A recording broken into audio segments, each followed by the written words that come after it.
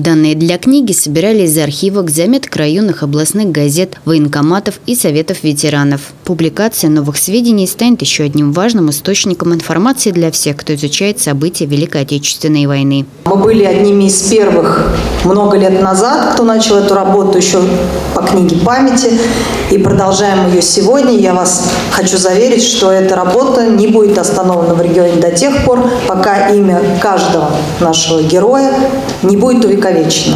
Кроме печатного издания, есть и электронная версия проекта, где каждый может добавить фотографии или информацию о своих родственниках, защищавших нашу Родину. В данной книге помещена моя статья, посвященная Тылавскому пехотному училищу, которое было эвакуировано в Рязань, в Рязанскую область в конце 1942 года и функционировало в Скопине до 1946 года. Дело в том, что училище-то оно не должно было находиться здесь, в Рязанской области.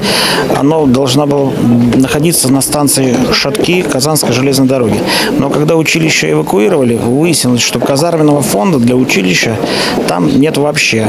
И поэтому было принято такое спонтанное решение выгрузить личный состав училища в Скопине.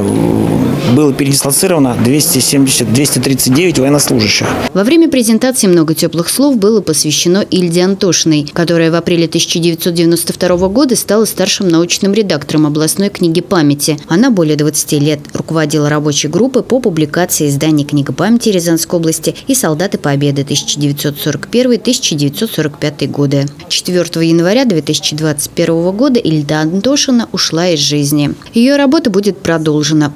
Наша святая обязанность – это сохранить память о самой страшной, самой кровопролитной войне. Сохранить память о подвиге наших дедов и прадедов, которые мужественно сражались в этой войне. И э, я считаю, что наша святая обязанность как молодежи – это сохранить и передать память о подвиге э, последующим поколениям. Книгу «Солдаты Победы» 1941-1945 годы доставят в библиотеки Рязанской области. Олеся Котровская, Станислав Кудряшов, телекомпания «Город».